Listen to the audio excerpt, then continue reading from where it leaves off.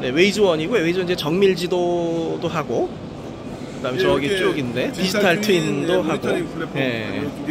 이제, 이제 보여주시는 거는 뭐냐면 이제 안양 안양을 이제 3D로 모델링하고 이제 거기서 차량들 다니는 이런 부분들을 네, 좀 맞습니다. 보여주시고 있고요. 그다음에 또 하나는 이제 하나 싱가포르 쪽이 있어요. 지금 이제 어, 해외 사업을 많이 추진 중에 계신데 이 싱가포르를 이제 3D로 만들어 놓고 이제 거기를 모델링하는 이런 부분입니다.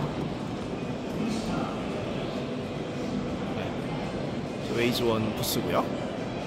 솔루션들 쭉 보여주고 있습니다. 그다음에 또 하나 이제 그 라이다 인프라 솔루션에서 이제 라이다와 정밀지도 연계하는 솔루션 이런 부분들도 이제 해외 사업에서 좀 진행을 하고 있습니다.